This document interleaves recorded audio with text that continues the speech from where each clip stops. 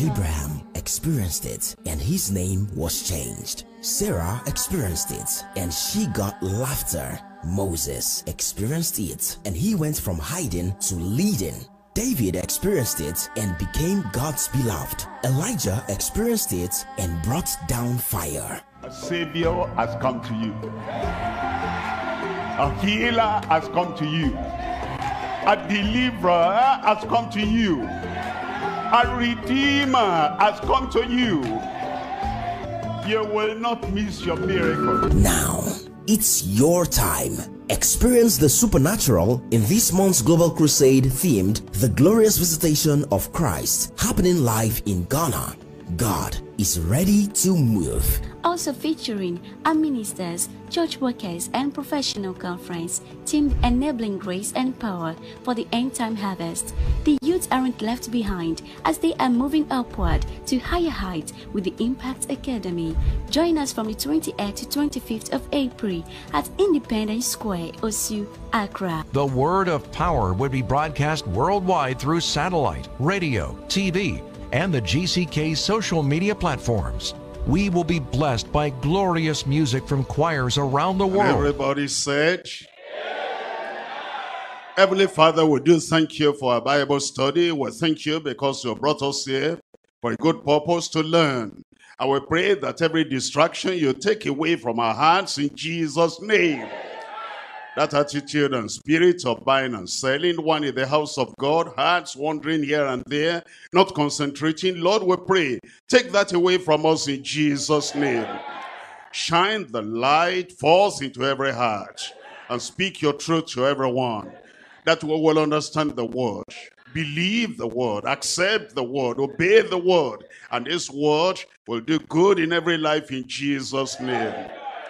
Take unbelief away from every heart. Take careless, frivolous attitude away from every life. And the heart that comes to the word of God without seriousness and without looking at the things for eternal value, take all that away from us in Jesus' name. Help us, Lord, to have the mind of Christ.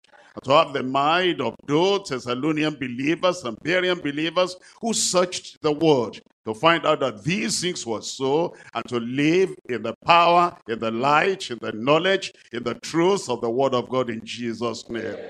We pray that Satan will not take your word away from any heart. But Lord, this word will do good in every heart.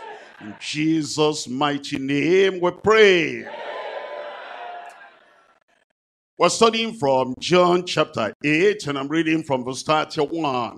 For the privilege of those who are just here for their benefit, I want to tell you that we're studying from the Gospel according to St. John. And we're coming from chapter 1, we're now in chapter 8. In chapter 8, let me back up to verse 30. Then it says, as he spake these words, many believed on him. Then said Jesus to those Jews which believed on him, If ye continue in my word, then are ye my disciples indeed. The primary audience of Jesus Christ, the immediate audience of Jesus Christ, the present audience of Jesus Christ, in the passage we're reading, they're referred to as the Jews. The Jews were the children of Israel. But as you look at the gospel according to St. John, some of them believed, and many, many of them did not believe. Look at that verse again. Then said Jesus to those Jews which believed on him. Only those Jews which believed on him. He told them, if ye continue in my word, then are ye my disciples indeed. And now we're talking about the Jews to start with. The Jews were given a great privilege. Actually, they had great advantage beyond all other people. When you think about the nation of Israel, and you think about all the other nations around them or beyond them, they had great privilege, great opportunity, and great advantage. In fact, we're told in Romans chapter 3, Romans chapter 3, reading from verse 1. Here Paul, the apostle writing to the Roman believers, wanted to know about the Jews. What do you think about the Jews? The advantage, their privilege, and the opportunity. It tells us in Romans chapter 3, verse 1, what advantage then has the Jew? Or what profit is there of circumcision? The word circumcision there standing for the Jews. It says much every way. It says, whatever angle you're looking at it, the Jews had great advantage. It says much in every way, chiefly, primarily, and uh, with priority and preeminently because that unto them were committed the oracles of God. Unto them. You look at Genesis all through to Malachi, it came from those Jewish prophets that God had raised up. And he said, what a great privilege they had. And when Jesus Christ came, he began to announce the gospel of the grace of God. The apostles came, they began to announce the gospel of the grace of God. You know what they said? They said, the Jews They went to the Jews because they already had understanding of the Old Testament. And now they went to the Jews. Look at uh, Romans chapter 1, verse 16. It says, For I am not ashamed of the gospel of Christ, for it is the power of God unto salvation to everyone that believeth. Listen to this, to the Jew first and also to the Greeks. That means uh, even when the gospel came, gospel of grace, and the dispensation of grace in the early church, in those early years, all the apostles went to the Jew first, and they went to the Jews, they said, this is the prophet, and this is the Christ, and this is the Savior, this is the Messiah that the Lord himself said he was going to send. He has now sent him. And we come to you first so that you will believe and then you'll be the mouthpiece of the Lord to talk to the rest of the world to the Gentiles. Acts of the Apostles chapter 13 I'm reading from verse 16 Acts chapter 13 I'm reading from verse 46 rather. Verse 46 Acts chapter 13 verse 46 then Paul and Barnabas uh, talking to the Jews waxed bold and said, It was necessary that the word of God should first have been spoken unto you. Look at that. All the apostles, they went out, they started in Jerusalem, who are there? Jews. They went to Judea, who are there? Jews. They went to Samaritans, and the Samaritans, they were half Jews and half Gentile. And it says, it was all right. It was befitting. It was according to the word of the Lord that the word, the gospel, word of salvation, word of eternal life, the word that will point the way to heaven for us should have been spoken to you first. And then, but it says, seeing ye put it from you and judge yourselves unworthy of everlasting life. Lo, we turn to the Gentiles. God wanted all of them to be saved, but were not saved. He wanted them to have the great privilege of having the word of God. They toyed with it. They gambled with their chance. They threw the chance away. And Paul, the apostle, said, What I'm going to waste the whole of life with you. We're going not to going to waste all the dispensation of grace and the period of preaching the gospel with you. Since you have rejected it, we're going to the Gentiles. Look at verse 47. For so as the Lord commanded us, saying, I have set thee to be a light of the Gentiles, that thou shouldest be for the salvation salvation unto the ends of the earth. You see, they missed the opportunity. They lost the advantage. And the great things God wanted to do for them, they couldn't get those things. The same thing happened at the time of Jesus Christ because he now came to them and all those Jews were there. He was in Jerusalem. He was in Capernaum. He was in all those places where the Jews were. They came. It's not that they didn't come. They heard. It's not that they didn't hear. And they listened. It's not that they were not paying attention. But they rejected they abused the opportunity. They misused the opportunities. Some believed, but many of them remained in unbelief. And it's the same today. And we in this, our church, Deeper Life Bible Church, well, like those Jews, we have the word of God. And it's taught from cover to cover. Every Monday we're here, our leaders are there on Tuesday, our members are there on Thursday for revival, and they were there on Saturday for the workers, and Sunday we're there, and we open the pages of scripture, and the light is shining every time, and we go thoroughly through all the things that will give eternal life to everyone that hears. Our children are hearing, our youths are hearing, our women are hearing, our men are hearing. But then, what are we doing with the word? Are we so familiar with the word, like the Jewish people, that we abuse our opportunity and we misuse our privilege and we misuse our advantage? They were full of unbelief. Look at Mark chapter 6. I'm reading from verse 6.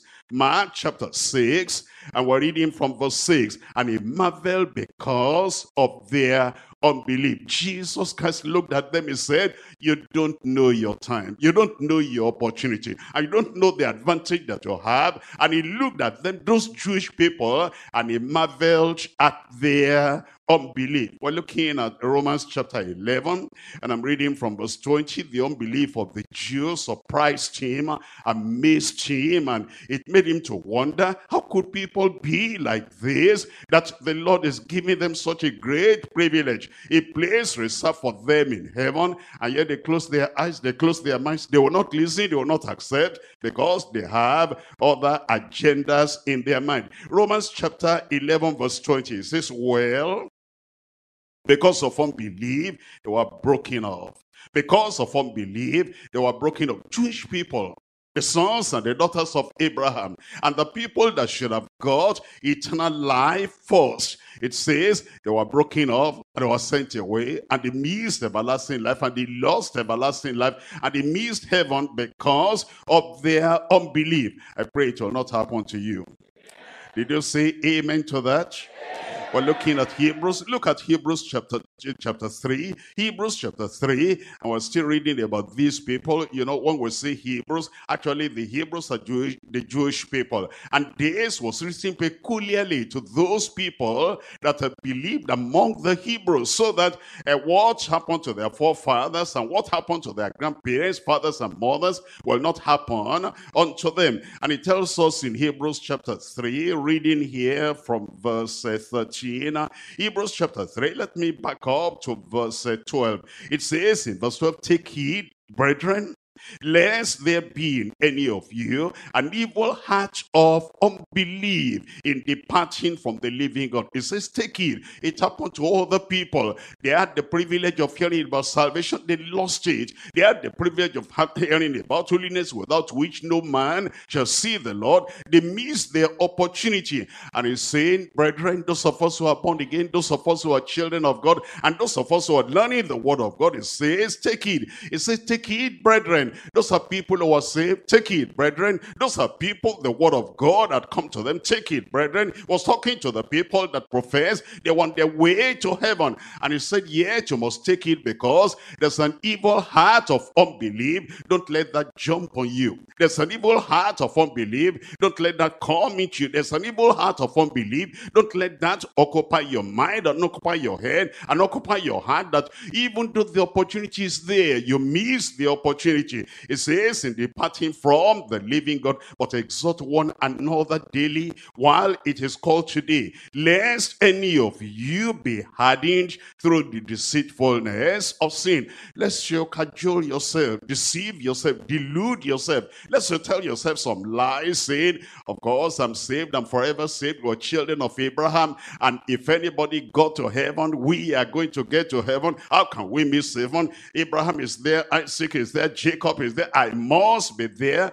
It says, take heed and don't deceive yourself because of the deceitfulness of sin. Look at uh, verse 14. It says, for we are made partakers of Christ if we hold the beginning of our confidence steadfast unto the end. I pray you'll hold on to the end. Look at um, Hebrews chapter 4. I'm reading from verse 2. Hebrews chapter 4 verse 2. For unto us was the gospel preached as well as unto them. But The word was preached unto them and it's being preached unto us. It says, but we're hearing the word. It says, but we know the gospel. It says, but we're people that are referred to as Deeper Life Bible Church. But it says, but we're people that have the word of God explained every time, interpreted every time, applied every time to every area of our lives. It says, but look at this, the word preached did not profit them not being mixed with faith in them that heard it. They heard it in the head. Heard it of their ears. But then because they were not paying attention, it's like, already I'm saved, already I'm born again, already I'm going to heaven. Whatever happens, I know that heaven is my home. Whatever they are preaching, I just came to the Bible said because I know I must come. If I didn't come, they will say, why didn't you come? And if I didn't come, I'll not be able to do my thing that I normally do. He says, take heed so that the word of God that is being preached will not go in one ear and then come out the other ear. Look at that uh, chapter verse 6 now. I'm looking at uh, Hebrews chapter 4 and I'm looking at verse 6. It says, seeing therefore it remaineth that some must enter therein. It's talking about entering to heaven and they to whom it was first preached entered not because God didn't want them to enter. Didn't God want them to enter? Of course he wanted them to enter. He says because of, tell me out loud, because of unbelief. Because of unbelief. It's not just enough to just sit down there. I'm hearing the word. It says they couldn't enter because of unbelief. Look at verse 11. Let us labor therefore to enter into that rest, lest any man fall after the same manner, after the same example of unbelief. The unbelief of many did not hinder Jesus, did not hinder Christ from saying everything he wanted to say. He still preached his message believe or not believe, he still had his ministry, whether they believed or not, and he still carried out his mission. And those who were saved will, will be saved. Those who will be saved will be saved. And the people that want to get to heaven, that say, I know how I came. I know why I came. I want to get to heaven. I didn't come here to just listen. I didn't come here to just uh, be part of the crowd. I didn't just come here to be part of numbers, statistics. I came so that the thing will affect my heart, affect my life, affect my family, affect my children, affect everybody, and we get to heaven. I pray you'll be of that number. The mission of Jesus Christ was still done. He still finished his work, and he said on the cross, it is finished. The people that didn't believe, they were the losers. I pray you'll not be a loser. Jesus Christ sees us now multitudes of people that believe. They believed at that time, some of them, and many of the people believe now, and the Lord still continues to prepare people for heaven. And thank God I'm going there. I said, thank God I'm going there.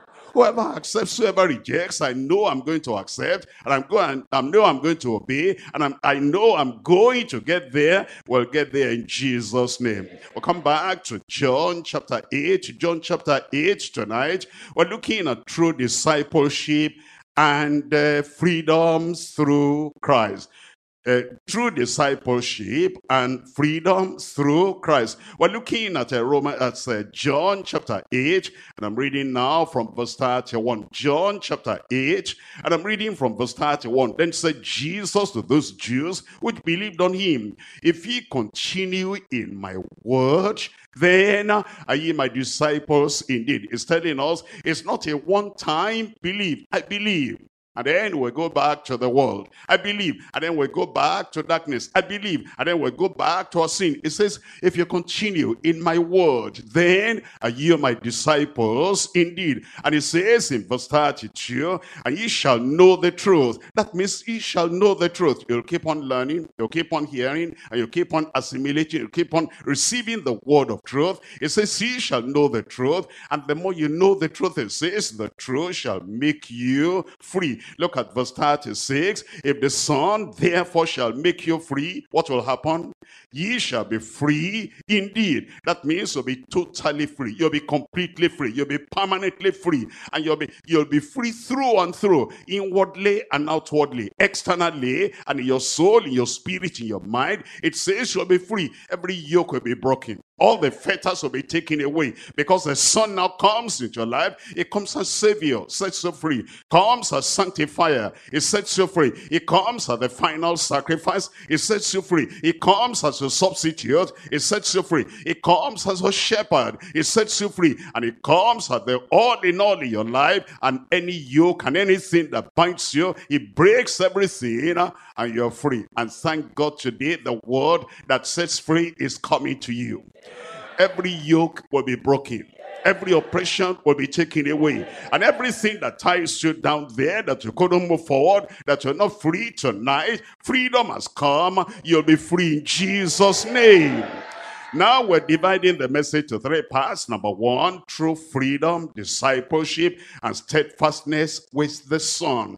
True freedom, discipleship, and steadfastness with the Son. But we're going to discover as we read other parts. Point number two, the falsehood and delusion Delusion is self-deception. Those who tell themselves lies, and they tell the lies over and over to themselves until they actually believe it.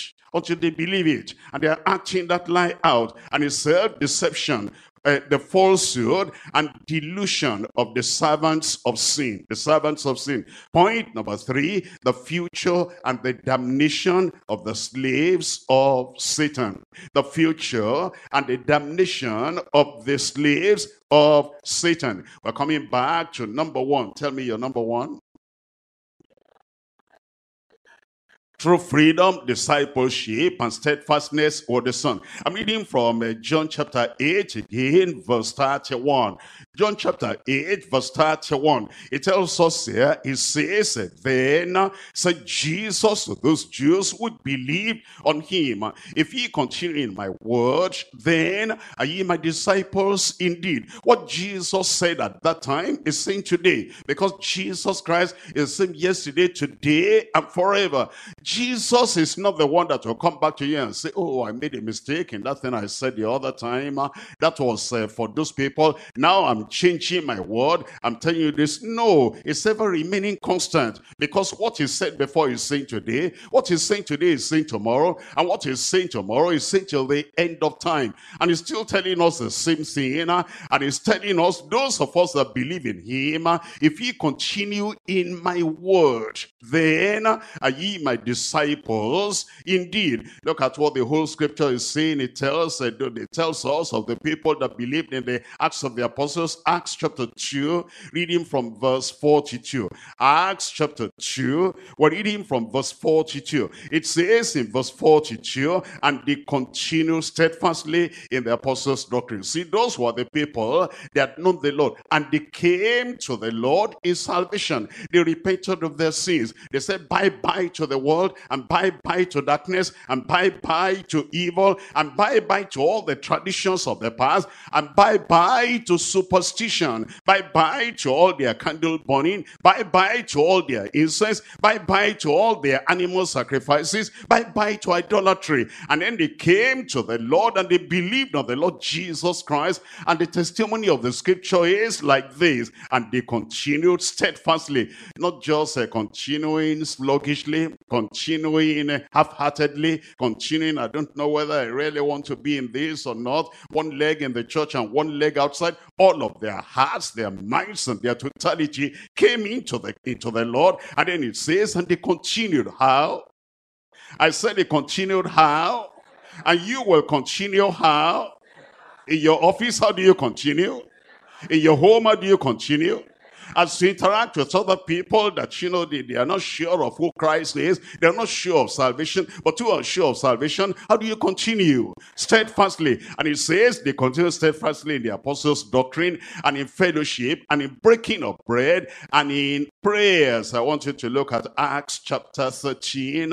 We're looking at verse 43. You'll find that this is always the same if you're a child of God. You're born again, you have come into the kingdom. It's one thing is to come. That's step one. The next step is to make sure that after you have come, I continue, I continue, I continue. Acts of the Apostles, chapter 13, we're looking at verse 43. Now, when the congregation was broken up, many of the Jews Jews and religious proselytes followed Paul and Barnabas, who speaking to them persuaded them to continue in the grace of God. The grace of God has saved you. The grace of God has forgiven you. The grace of God has cleansed your life. The grace of God has turned you around. And the grace of God has removed darkness away from you. And light has come. And they persuaded them. They imposed on them. They prevailed on them. You must continue in the grace of God, in the word of God. We're looking at chapter 14,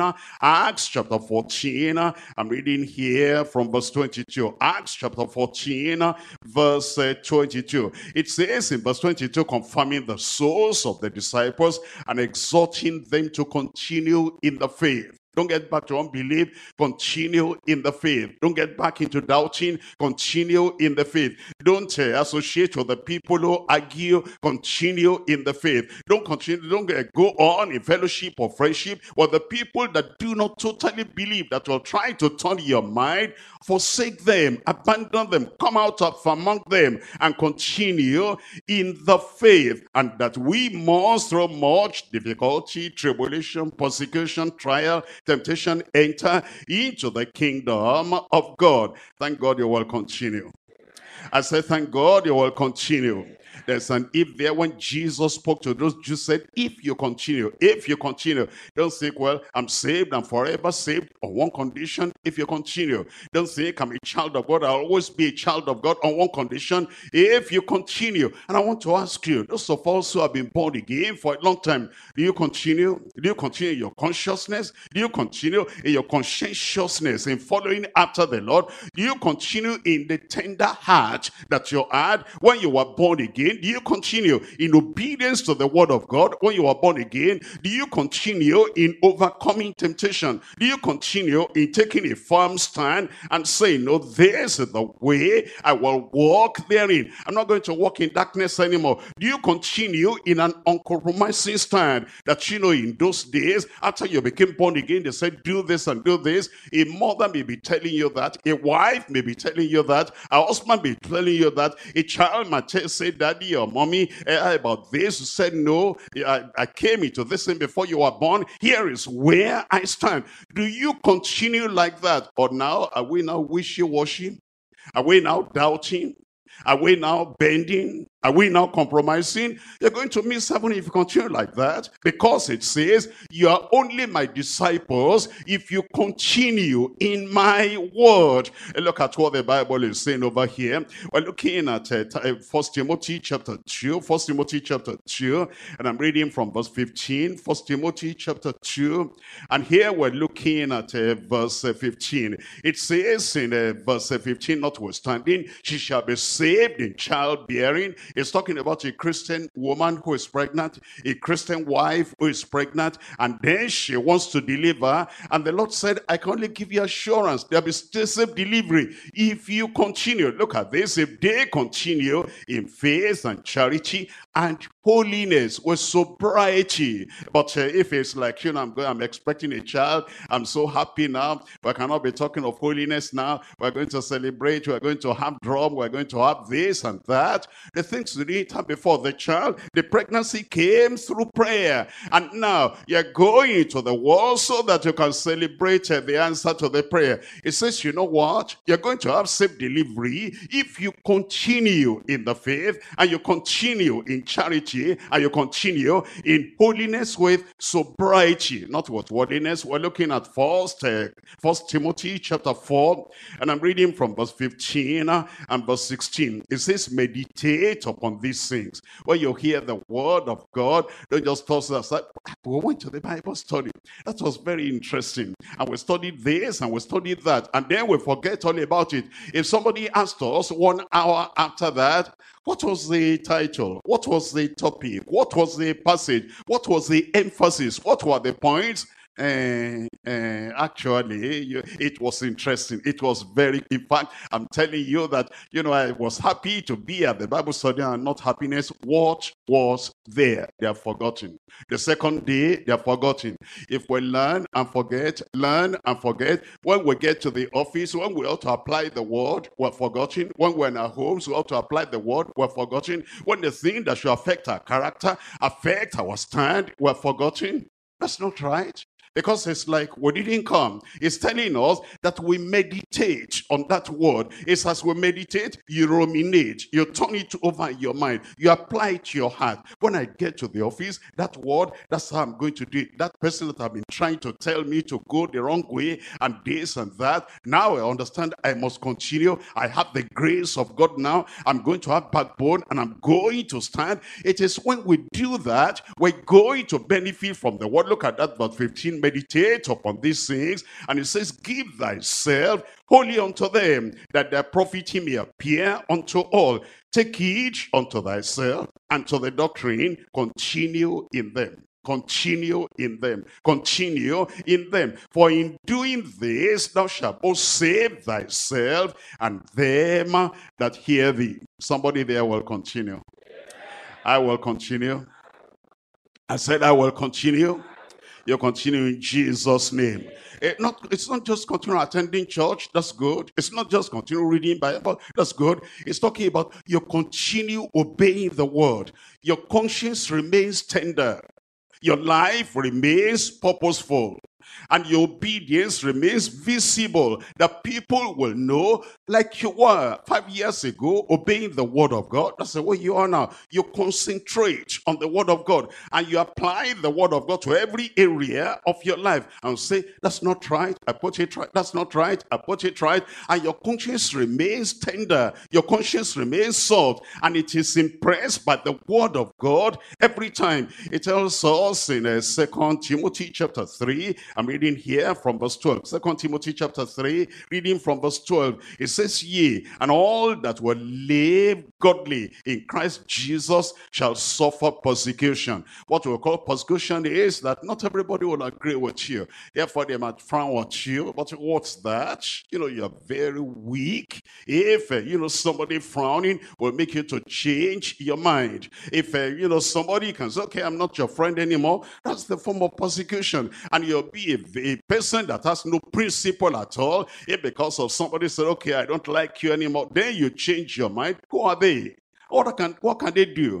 The Lord that is giving you breath and is giving you life, is giving you eternal life, is giving you heaven. He says, this is what you do. And this man that can give you nothing, they mean nothing to your life. And they offer nothing in your life. And they are the people to turn your mind.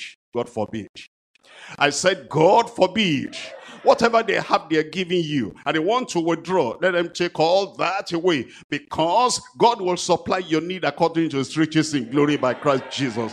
Whatever they take away, let them take that away. In fact, if you're a real child of God, if somebody does not believe what you believe, does not accept your faith, and does not accept that you want to get to heaven, and they offer something to you, say, no, I don't want that. You don't want to help something you don't agree with because this is the way I'm going, I'm going to heaven. This is what I believe. I believe the Bible. And then if you give me this now, I'm going to use it for what you don't accept and what you don't support. You don't want to do that. I don't want that. All I want, I'll get from Christ. When you take your stand like that and people know that money is not too important to you and food is not too important to you, giving you accommodation and then you're messing you up, that's not important to you. Whatever they offer you. That's not important to you. What's important to you is that this is the way, walk ye therein, and you're going to walk there. And so if they persecute you, say, that's all right, I need you persecute because you don't agree.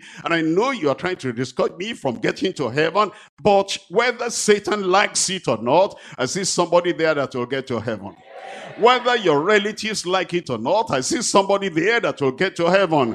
And then that's why whatever persecution you say, yes, I will take that. I will endure that no matter what happens. Look at verse 13. But evil men and seducers shall wax worse and worse, deceiving and being deceived. But continue thou, but continue thou, but continue thou in the things which thou hast learned and hast been assured of, and knowing of whom thou hast learned it you will continue. As we continue, what's going to be the result of that continuation? I'm coming back to John chapter 8. John chapter 8, and I'm reading from verse 32 as well as verse 36. John chapter 8, we're looking at verse 32. And ye shall know the truth, and the truth shall make you free. And ye shall know the truth, and the truth shall make you free. Look up here for a moment. What if the day you were born again, you stopped coming to church because now I'm born again. Everything you have known after you were born again, as you are coming to the services and the Bible studies and revival, you'll not know them. As you continue, then you will know what you didn't know before. And the truths you are hearing every Monday, every Thursday, and every Sunday, and for the leaders every Tuesday, and for the workers every Saturday, the truths you know will set you free. Thank God you'll be free. You'll be freer today after the Bible study than you were yesterday. Because freedom, freedom, freedom, the Lord and the Lord will project you forward after that freedom. Nothing will hinder you from your progress in Jesus' name. Look at verse 36. Verse 36 says, If the Son therefore shall make you free, nobody else can make you free. Nobody else can make you free. Jesus Christ the Savior, Jesus Christ the Sanctifier, Jesus Christ the Emancipator, Jesus Christ the Liberator. He is the one that can make us free. And he says, If the Son therefore shall make you free, ye shall be free indeed. You'll be free. But the question is, free from what? Free from what? We're looking at Romans, Romans chapter 6, and I'm reading from verse 18. Romans chapter 6, we're reading from verse 18. It says he'll make us free, but you need to ask yourself, free from what? Look at this, Romans chapter 6, verse 18. Being then made free from sin, ye became the servants of righteousness. That's what it means. Sin will hinder us from getting to heaven, and it says he'll make us free from from sin. Being then made free from sin, ye became the servants of righteousness. Look at verse 22.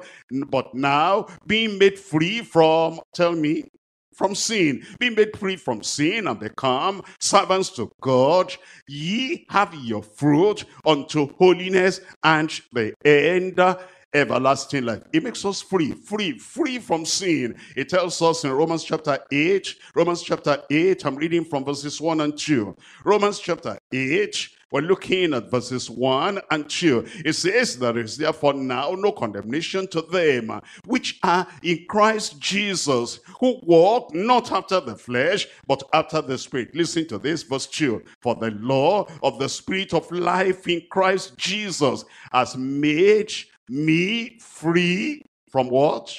From the law of sin and death. You'll be free. Totally free. Completely free. And sin will not have dominion over your life anymore in Jesus' name. And we're coming back, we're coming back now to John chapter 8. John chapter 8, and I'm reading from verse 33. John chapter 8, verse 33. This is point number two now. The falsehood and the delusion of the servants of sin. The falsehood and the delusion of the servants of sin. We're coming to John chapter 8, verse 33. Then answered him will be Abraham's seed and were never in bondage to any man. How sayest thou, ye shall be made free? Eh, these are Jewish people, Abraham's seed. And he said, we're Abraham's seed, and we were never, never, never in bondage to any man. Are you telling us, I'll make you free? Look at verse 34. Jesus answered them, Verily, verily, I say unto you, whosoever committeth sin is a servant of sin. You're not as free as you thought. Because if you're committing sin, you are the servants of sin. Look at verse 35. And the servant abideth not in the house forever. The servant abideth not in the house forever. Look at the latter part of that verse. But the son, capital S, referring to Jesus Christ, abideth ever, abideth ever, abideth ever. Where does the son of God, Jesus Christ, where does he abide ever, ever, ever, forever? Where? Tell me. Was he abiding here on earth forever?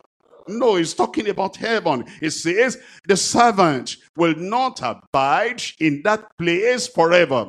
But the son, capital S, will abide there forever. He was telling them, if you're not free from sin, because you're servants of sin, you're going to miss heaven because the servant does not abide in the house forever.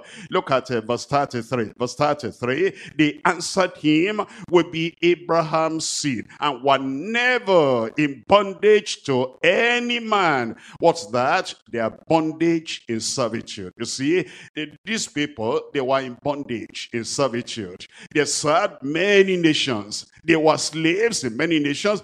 They were in bondage in Egypt. They were in bondage to the Assyrians. They were in bondage to the Babylonians. Even at this time they were talking, they were in bondage to the Roman government. And it was Caesar, not a Jew, a Caesar that was ruling over them. The coin they were spending, the image and the superscription is the image of Caesar. Look at their lies. Look at their delusion. Look at their self-deception. And they said, whenever in bondage to any man. Let's check up that statement. Never in bondage to any man. We're looking at uh, Genesis chapter 15.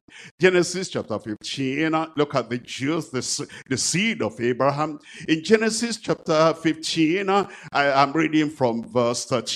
From verse 13, look at this. And he said unto Abraham, Know of a surety that thy seed shall be a stranger in a strange in a land that is not theirs, and shall serve them, and they shall afflict them for hundred years. These were the people that said, never, never, never were we in bondage to any man. These were self-deceivers. I pray you'll not be a self-deceiver.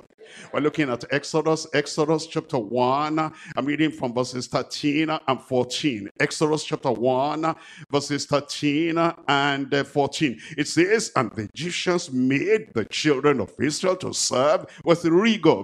And they made their lives bitter with what kind of bondage? Hard bondage. These were people saying, whenever in bondage to any man, of course they were in bondage. Deuteronomy, I'm reading from chapter 26. Deuteronomy chapter 26, we're looking at verse 6. They were telling lies. Jesus knew they were telling lies. That's why he didn't even bother to answer them. In uh, Deuteronomy chapter 26, verse 6, it says, And the Egyptians evil entreated us and afflicted us and laid upon us hard bondage. Look at these liars. Who were never in bondage to any man, and yet they were in bondage. I pray you'll not be telling lies against your own soul. The Lord that could have delivered them, they didn't allow him to deliver them because they were in bondage. And I told you at this time, they were in bondage to the Roman government, to Caesar. We're looking at uh, Luke chapter 23. Luke chapter 23, and I'm reading here from verses 1 and 2. Luke chapter 23, verses 1 and 2. It says, um, And the whole multitude of them rose and led him unto Pilate. And they began to accuse him, saying, We this fellow perverting the nation and forbidding to give tribute to Caesar, saying that he himself is Christ a king. These were people, they knew that Caesar was ruling over them, and Caesar was a Roman uh, emperor, ruling over them. They were in bondage to the Roman government, and yet, look at deception. They said, we were never in bondage to any man. Liars. They needed salvation, but they didn't accept they needed salvation. Acts of the Apostles chapter 17.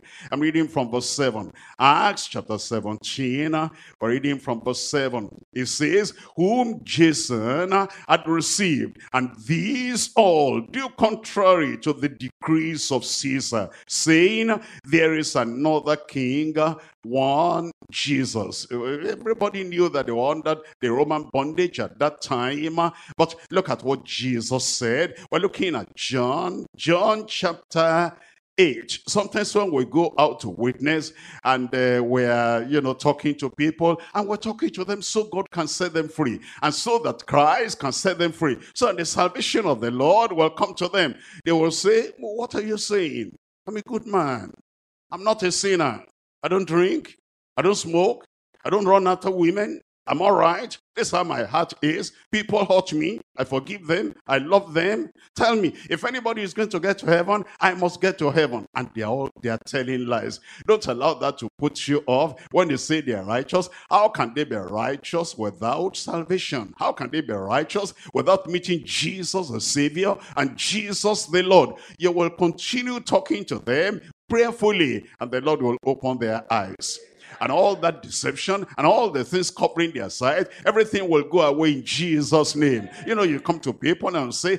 Now be born again, give your life to the Lord. They turn it to religion. They said, which church do you go? You say the like, ah, wonderful. I, I, I like your church. Our church is just like your church. If you come to our church and you hear our pastor, he will open the Bible to you and all of us will rejoice. Salvation, of course, we have salvation. Born again, we're all born again and we're all going to heaven. Who will go to church and not want to get to heaven? I don't want to go to hell. I'm going to heaven. You'll be surprised. You'll see me there. Don't allow all that to put you still tell them the word of God, except we turn away from our sins. And there's a definite moment of time when we became born again, and then the Spirit of God bore witness with our heart that we're children of God, and there is a change. A change our children will notice, a change our family will notice, a change our office will notice, a transformation of life and character that all our neighbors will notice. Except that has happened,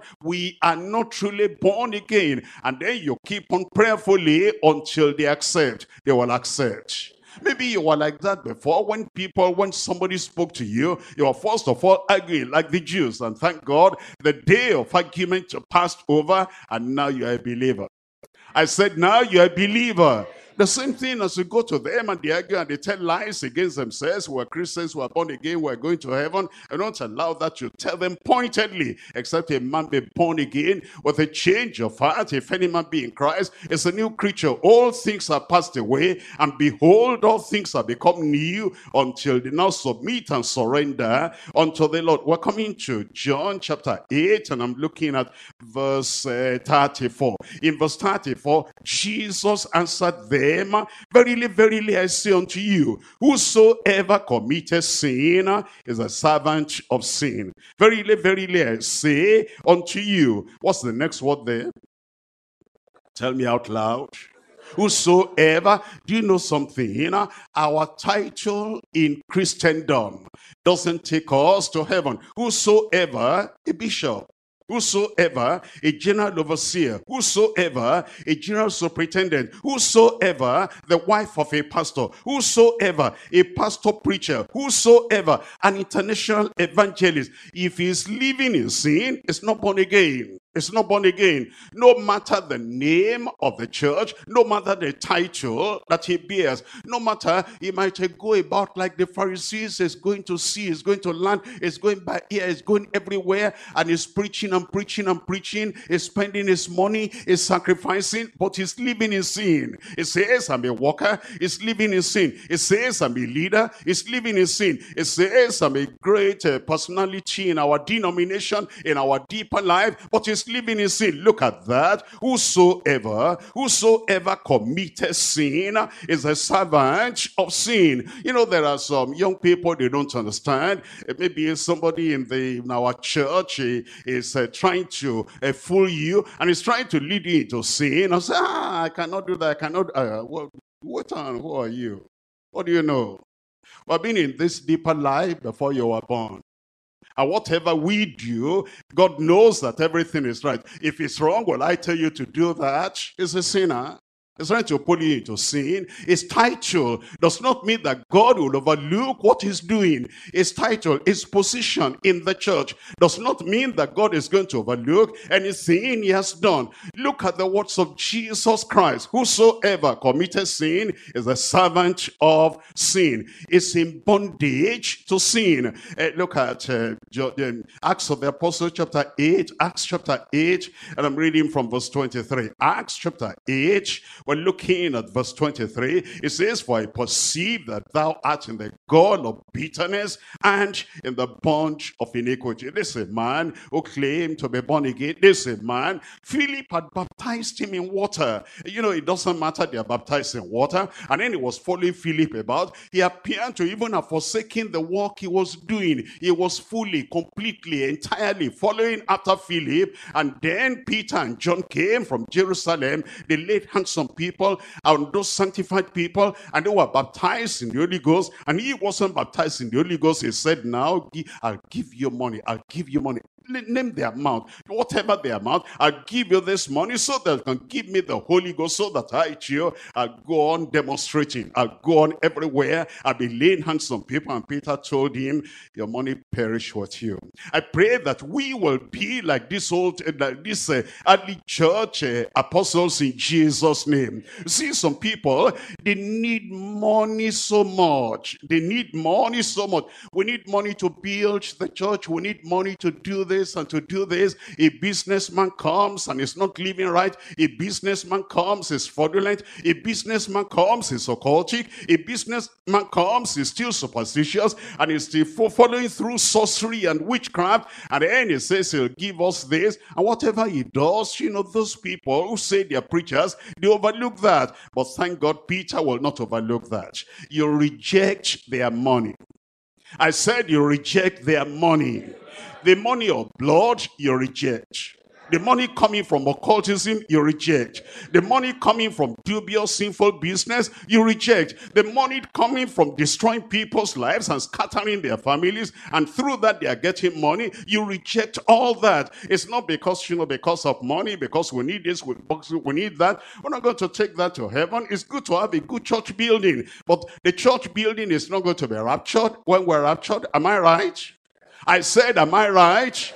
If you lose your soul because of church building, you lose your soul because you are trying to get this and get this and get this, then all those things you amass in the world, they'll mean nothing when the rapture takes place. That's the reason why we must take our stand. And the people who are servants of sin, and they bring money, and they bring this, and they bring that, you say, mm, do I need money? All I need is the grace of God, and have this that grace of God. All I need is the word of God. Man shall not live by bread alone, but by every every word that proceeded forth out of the mouth of God shall man live. And I have that, I have all things. I said, I have that, I have all things let all that blood money be taken away. In fact, if uh, you know all the sincere people of God and the good children of God, they contribute their little mites and their little pennies and their little fathers, and everything adds up, and then you bring somebody that brings blood money, in mixing everything, it will spoil all the money there or destroy all their effects. We don't want their money, we want their repentance want their genuine righteousness, and want their salvation. That's why he's telling us here, we want to be totally clean and clear from sinning and supporting anybody in sin. That's why Peter said, let me back up to verse 22. Repent therefore of this the wickedness and pray. If peradventure perhaps the thought of thine heart may be forgiven thee, for I perceive, I perceive, I perceive that thou art in the gall of bitterness and in the bunch of iniquity. Sin is iniquity. And I pray that God will deliver every one of us in Jesus' name. You'll be free if you want to be free. I said you'll be free if you want to be free. No man can tie rope on your leg as a woman and say, you know, you continue in sin. If you want to be free, you're going to be free. And no woman can, you know, hold you a hostage and say that only we've done that together. If you run away from me and say, pray for me, I'll report you to the church. Go ahead and report. You, you go to report yourself first and say, well, one woman is coming to report me. Before you says, she says what he's going to say, I've been hypocritical. I've been living in sin. I've been living a terrible life And here am I now because you don't care for the position they give you in the church. You don't care for the thing you are holding on to. If uh, they hear the report, if I report myself, they'll take the office of the bishop from me. They'll take the office of overseer from me. What's that? What's that? That one is going to go up in the rapture. What will go up in the rapture is the people that are holy unto the Lord. And therefore you say, go and report. Let's go together. I'll even tell you, I'll tell you the person you ought to report to and I'll take you there. And then she talks and you talk, yes, everything she says is true. I am a sinner, a backslider, but I'm repenting now and I'm going my way to heaven. That woman will be ashamed. Then all the rope that tied you together, everything is caught. Let the church say amen.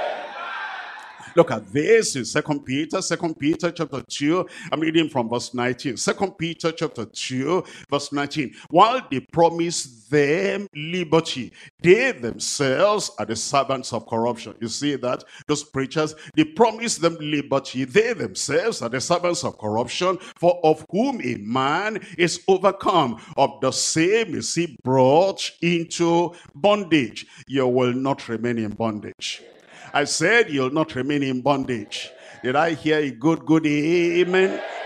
I'm looking at John, John chapter 8, John chapter 8, in verse 33, that's their bondage in servitude. In verse 34, that's their bondage to sin. In verse uh, 35, that's the banishment of sinners. Look at that, banishment of sinners. We're looking at uh, John chapter 8, and in verse 35, and the servant abideth not in the house forever, but the son abideth ever. That is the servants of sin will not get to heaven because they'll be banished from heaven. Look at the meaning of that word, banished from heaven in Lamentation chapter 2 verse 14. Lamentation chapter 2 and I'm reading here from verse 14. Lamentation chapter 2 reading from verse 14. Thy prophets have seen vain and foolish things for thee and they have not discovered thine iniquity to turn away thy captivity. That's bondage. But they have seen for thee false bodies and the causes of banishment false vision. They encourage them, don't worry, don't worry, you'll be all right. And they're living in sin. Don't worry, it will be all right at the end of the day. And they're living in sin. And it says that those are the things that cause them banishment. That is, eventually, they'll be banished from the kingdom of God. We're looking at uh, Psalm 28, and we're looking at verse 3. Psalm 28, verse 3. The people that remain in sin, they'll be taken away. They will not inherit the kingdom of God. They cannot be in heaven at all. Because it says in Psalm 28 and in verse 3, it tells us in verse 3, draw me not away with the wicked, with the workers of iniquity. Workers of iniquity. They'll be drawn away out of the premises of heaven, which speak peace to their neighbors, but mischief is in their hearts. Have you known people like that? The good, great pretenders. And they can talk, they can smile. They can embrace you. They can say, you know, I really appreciate you, you know. And I've been looking at you. And they have evil in their heart, evil intention in their heart. They really want to destroy you. And they want to take every good thing away from you. But they flatter you. They cajole you. And they deceive you. And because of that uh, deceit and because of that deception, you fall into them. But it says, draw me away from them. The Lord will draw you away from them. You'll not be part of them in Jesus Jesus' name. Yeah, look at Psalm 101. I'm reading from verse 8. Psalm 101, reading from verse 8. In Psalm 101, verse 8, I will early destroy all the wicked out of the land, that I may cut off all wicked doers from the city of the Lord. From the city of the Lord and from the heavenly city, they'll be cut off. They cannot be there. There's going to be eternal punishment for them, and they will not get to heaven. The New Testament references it very clearly. We're looking at Matthew chapter 7. Matthew chapter 7. And here we're reading from verse 19. Matthew chapter 7. We're reading from verse 19. Every tree that bringeth forth not forth good fruit is soon that is cut down and cast into the fire. Wherefore, by their fruits ye shall know them. Not everyone that says unto me, Lord, Lord. Not everyone in worship, Lord, Lord. Not everyone that is dancing, Lord, Lord. Not everyone that is beating drum and saying, Lord, Lord. Not everyone that is, uh, you know, fasting and praying and saying, Lord, Lord. Not everyone that says unto me, Lord, Lord, shall enter into the kingdom of heaven, but he that doeth the will of my Father which is in heaven. Many will say unto me in that day, Lord, Lord, have we not prophesied in thy name? And in thy name have cast out devils, and in thy name have done many wonderful works. You know, it's surprising today that some so-called deeper life uh, members, they are carried away by what they call miracle. They're carried away by what they call prophecy. Come, come, come. There's a woman in our corner over here. She prophesies and then she interprets dream. And then she, if you have any problem, she'll take a holy oil, anointed oil. She'll rub your tummy and everything will be over. And then they're going to that side because they don't understand. Although they come to the Bible study, their minds are closed. Their minds are blind and their eyes are blind and they're looking for healing from Satan. They're looking for healing from demons. They're looking for healing from people that do not know God. I, I think, I believe it's better to die than to stay alive under the occultism of Satan. I can't hear the church. I said it's better to die and go to heaven than stay on earth under the healing virtue of Satan. If you believe that, say amen.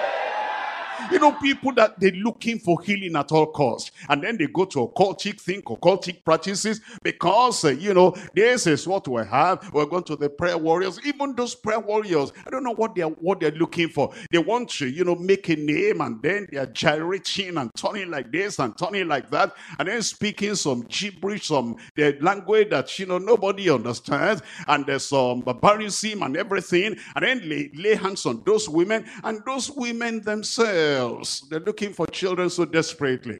And they're looking for healing so desperately. And they're looking for deliverance so desperately. They don't mind what these uh, so-called prayer warrior people are doing. Uh, and because they say they work miracles and all that, miracles, there are many miracles, many kinds of miracles. Miracles come from Rome.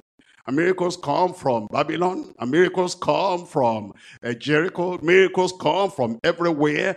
But the people that stand on the word of God and that say, if I'm not sure where that is coming from, I don't want it. Am I talking to church? I say, if you don't know where that is coming from, you're going to reject that thing. We don't need all these things. If you're a real child of God, ask, it shall be given unto you. Seek, and ye shall find. Knock, it shall be opened unto you. If you have asked, and God is saying, hold on, it's not giving it yet, you are patient. You're not running to those people that are messengers of Satan and that are going to lead you to hellfire. All those things from now we're going to reject in Jesus' name. Look at that. Look at that. Verse 23 now. Then will I profess unto them, I never knew you. Depart from me, ye that work iniquity. Miracle workers, work of iniquity. And those who are prophesying, you walk iniquity. All those things you would, would throw away because we want to get to heaven. At least I want to get to heaven. I said, I want to get to heaven.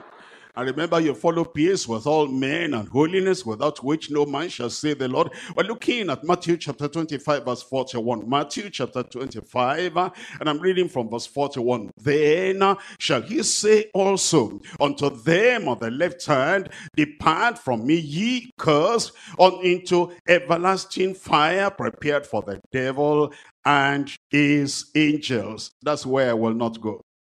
I said, that's where I will not go.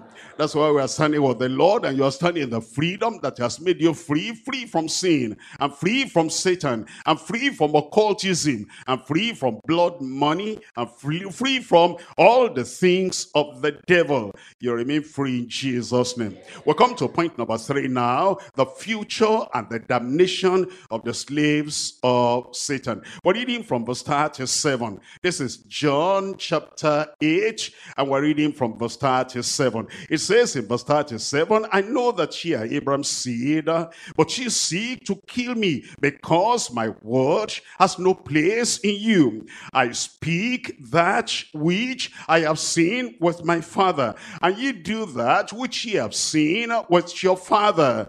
They answered and said unto him, Abraham is our father. Jesus saith unto them, If ye were Abraham's children, ye would do the works of Abraham. But now ye seek to kill me, a man that has told you the truth, which I have heard of God. This did not Abraham. Ye do the deeds of your father. Then said they unto him, We be not born of fornication. We have one father, even God. Jesus said unto them, If ye were, if ye, if God were your father, ye would love me, for I proceeded from and came from God. Neither came I of myself.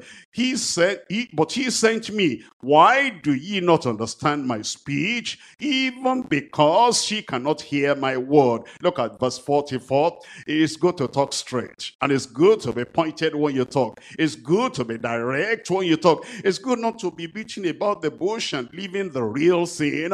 You see, there are some preachers, they are not like Jesus Christ because they're trying to avoid trouble. They, they want to make friends of sinners. They want to make friends of backsliders. They want to make friends of uh, compromisers. Because of that, they cannot tell them the truth. They know the truth is at the center here. They'll be perambulating and going around and going around. And you cannot hold them to say, this is what he said. I pray that God will remove such preachers from our midst in Jesus' name. The preachers who are so afraid of the congregation, afraid of sinners, afraid of backsliders, afraid of compromisers, they cannot tell us the truth. What's the use? What's the use? What are they doing there on, the, on our pulpit? If they cannot tell us the truth of salvation and the truth of sanctification and the truth of holiness without which no man shall see the Lord, and they're just occupying the pulpit, why don't they somebody to carry them away from there and put somebody there that can tell us the truth and point the way to heaven for us. I pray it to happen like that in Jesus' name. You know, I know some leaders nowadays, sometimes I hear of them, somebody uh, will tell me that, sir, uh, you know, we took this case to uh, Pastor so-and-so, and instead of telling us who is right and who is wrong, who ought to repent and who ought to make restitution, sir, this our pastor was moving like this and moving like this, and at the end, we wasted three hours, and they couldn't strike the point. They're afraid of the people they are talking to. I don't want, I don't want them to know that it's me that said that. Why are you a preacher? Why can't you stand? And stand on the word of God. Look at Jesus now. Look at verse 44. Verse 44. Look at what he said. Uh, if you are there, are you have you seen that verse? Uh, read it out and let me hear you. Oh, oh that, that's enough. That's enough. They said, we be not born of fornication. God is our father. And they, they said that uh, openly and courageously. They said, we were, we Abraham's seed. How say you are going to make us free? We are the children of Abraham and God Almighty is our father. Look at verse 44, year of your father, the devil and the laws of your father ye will do. He was a murderer from the beginning, and he abode not in the truth, because there is no truth in him. When he speaketh a lie, he speaketh of his own, for he is a liar and the father of it. And because I tell you the truth, ye believe me not. Which of you convinceth me of sin? And if I say the truth, why do ye not believe me? He that is of God, God heareth God's word. Look at this. Ye therefore hear them not because, tell me, he told them pointedly, because you are not of God. I pray that same boldness God will give us. That same authority God will give us. And that same assurance as we declare the word of God, the Lord will give every one of our preachers in Jesus' name. Uh, look at these people now. Number one, they were captives of deception. They were captives of deception. Their deception had held them in captivity, held them in bondage, and they were totally captivated in that deception. Captives of deception. And what does that mean? I want you to come to uh, this, uh, John chapter 8. I'm reading from verse 37. It says, I know that ye are Abraham's seed, but ye seek to kill me, because my word has no place in you. I speak that which I have seen with my father father, and ye do that which ye have seen with your father. Then answered they and said unto him, Abraham is a father. And Jesus said unto them, If ye were Abraham's children, ye would ye will do the works of Abraham. He goes on to say, Now ye seek to kill me, a man that has uh, told you the truth, which I have heard of God. This did not Abraham. You do the deeds of your father. And they said unto him, we be, we be not born of fornication. We have one father, capital F. And they said, even God. And Jesus said unto them, if God were your father, you would love me, for I proceeded forth and came from God. Neither came I of myself, but he sent me. Why do ye not understand my speech? Even because ye cannot hear my word. They were captured in uh, deception. They were captured, they were captivated in deception. They didn't understand that the physical circumcision does not make you a child of God. That can refer to Abraham. Abraham is our father. That does not make you saved. You have to repent. You have to have a life of righteousness that will show that you're a real child of God. Look at Romans chapter 2. And I'm reading from verse 28. Romans chapter 2. I'm reading from verse 28. It says, For he is not a Jew, which is one outwardly. You see, that was their deception. That was their misconception. It says, it's not a Jew, which is one outwardly. Neither is that circumcision, which is outward in the flesh, but he is a Jew, which is one inwardly, an inward change, an inward transformation, an experience of salvation, an experience of sanctification. He is a Jew, which is one inwardly, and circumcision is that of the heart in the spirit, not in the letter, whose praise is not of men, but of God. Look at First John chapter 3, verse 12. First John chapter 3, we're reading from verse 12. It says in First John chapter 3, reading from verse 12, not as Cain, not as Cain, uh, who was of the wicked one, and slew his brother. And wherefore slew he him? Because his own works were evil, and his brother's righteous. Marvel not, my brethren, if the world hates you. Ye know that we have passed from death unto life, because we love the brethren. He that loveth not his brother abideth death. Whosoever, whosoever bishop, whosoever worker, whosoever pastor, whosoever overseer, whosoever member of deeper life, whosoever hateth his brother is a murderer. And ye know that no murderer has eternal life abiding in him. You see all those people, they hated Jesus Christ because of the truth he was revealing to them. And he said, you want to kill me. You want to, you want to commit murder. And it says, because you have that, you don't have eternal life abiding in you. We come back to John chapter 8, and I'm reading from verse 44. John chapter 8, and I'm reading from verse 44. Here he tells us in verse 44, the words of Jesus Christ, direct unto these people, ye have your father the devil, and the laws of your father ye will do. He was a murderer from the beginning, and abode not in the truth, because there is no truth in him. When he speaketh a lie, he speaketh of his own, for he is a liar and the father of it. These were children of the devil. Children of the devil. Look at this in John chapter 6. I'm reading from verse 70. John chapter 6. We're looking at uh, verse 70. Here it tells us Jesus was even talking about one of his followers, one of his disciples, even an officer, a treasurer yeah, among the disciples, among those apostles. Look at what he said in John chapter 6, verse 70. Jesus answered them, Have not I chosen you twelve? And uh, tell me the rest. Tell me out loud. I will not be of the devil. I said I will not be of the devil.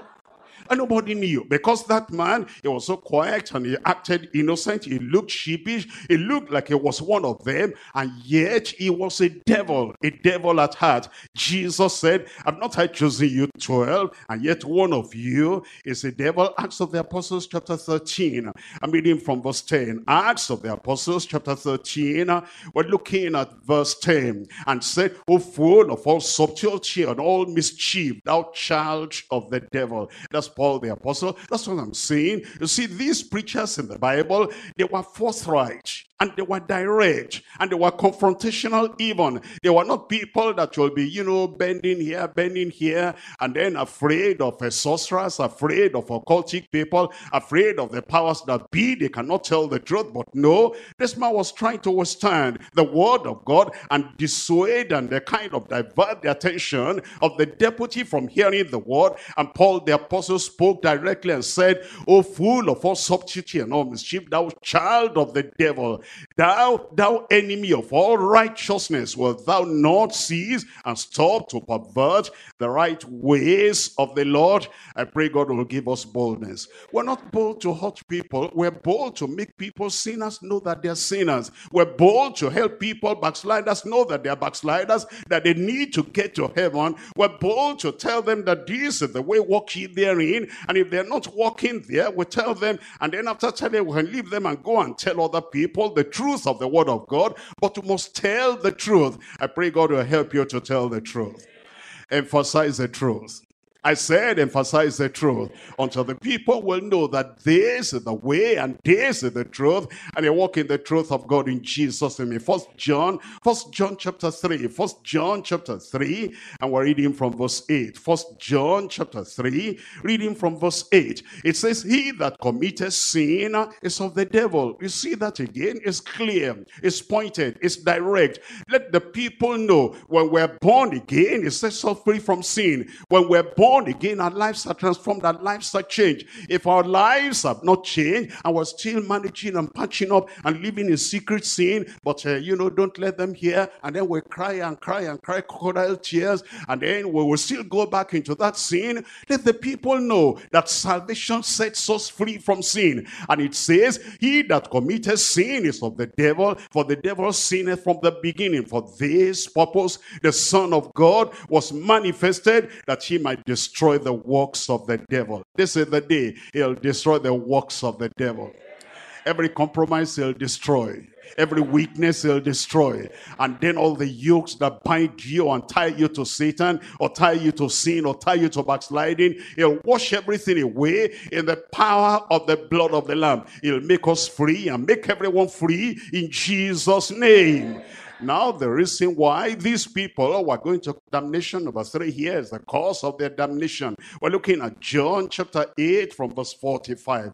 John chapter 8, and we're looking at uh, verse 45. John chapter 8, verse 45. And because I tell you the truth, you believe me not. Because I tell you the truth, you believe me not. Now, I need to ask you a question. You came to the Bible study. Now you have heard the truth, and you are not accepting the truth, and you're not pay, praying on the truth and you're not looking at your life and saying, this is the truth. Nobody can argue with this. If somebody is living in sin, if Christ comes, he will not go. And we don't know when Christ will come. He might come today. He might come tomorrow. I need to settle this before he comes. If you don't do that, why did you come? Why did you get to the market? You're not buying anything. Why did you get a bucket of water? You are not cleaning yourself. Why are you having the food? You are not eating the food. Why is it you are having the word of God and you're not benefiting from the word of God? Things will change.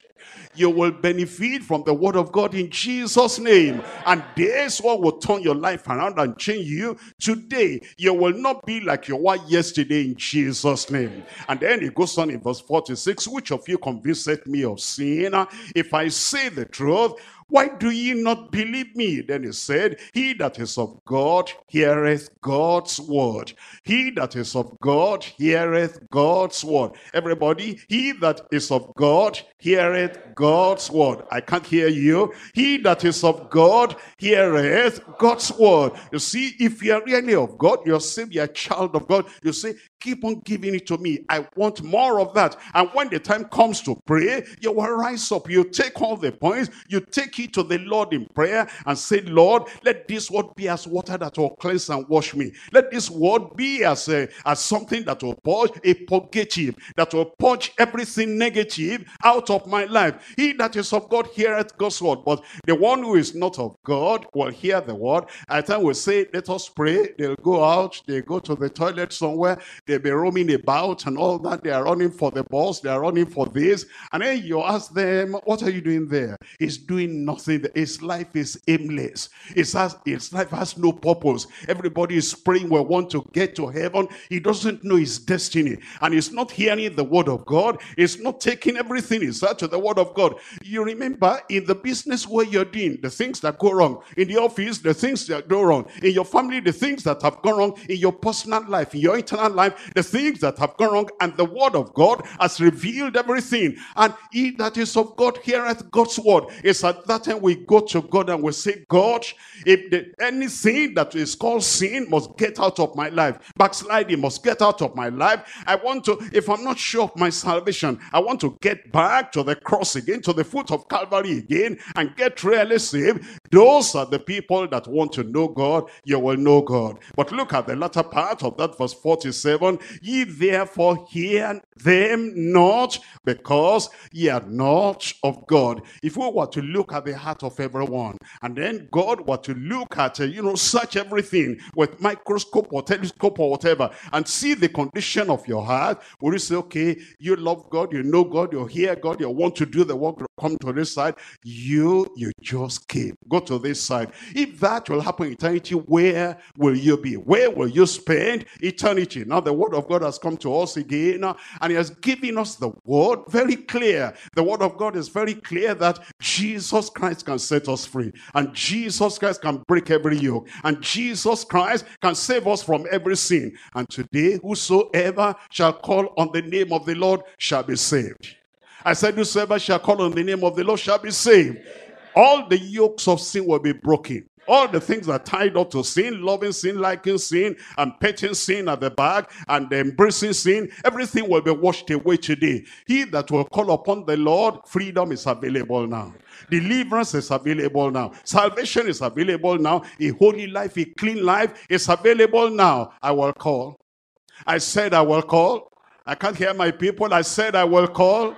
Rise up and tell the Lord and call upon the Lord. Don't let this time pass you by. A time of opportunity, a time of cleansing, a time of real salvation, a time of real restoration, a time to be serious with yourself, and a time to be serious against the devil and say, devil, enough is enough. I'm coming out of that bondage, out of that yoke, and I'm going to be totally free by the power of the Lord today. I'm going to be totally free by the cleansing of the blood of the Lamb today. I'm going to be totally free from the sacrifice that Jesus Christ did on the cross of Calvary. Tonight is the night of my freedom. Tonight is the night of my deliverance. Lord, set me free. Lord, set me free. Lord, set me free. And there's no stain of sin that will remain. And there's no shadow of sin that will remain. And there's no bondage of sin that will remain. I will be free so that as I go back in my office, I'll be free. In my home, I'll be free. In the market, I'll be free. All that anger, all that uh, evil thing in the heart, everything must go today. All that carelessness, everything must go today.